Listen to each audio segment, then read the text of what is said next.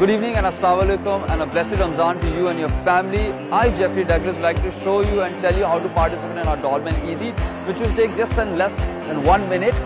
Shop from any retail outlet for 5,000 and above and participate in our Dolmen Eidi. Step 2.